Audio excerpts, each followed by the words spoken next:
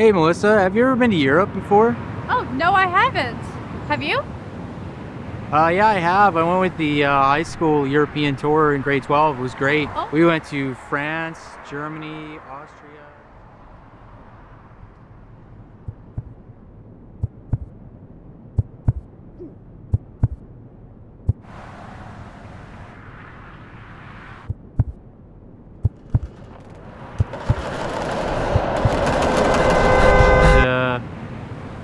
One other one, I don't remember. That is so cool. What was France like? It was great, but I actually prefer Germany more. Um, we stayed in Munich.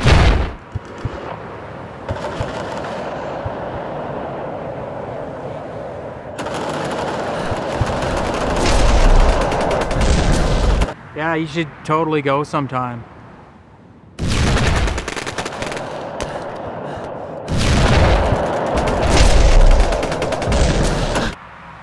Great. I gotta take off right now. I'll talk to you later. All the best. Talk to you later. Bye.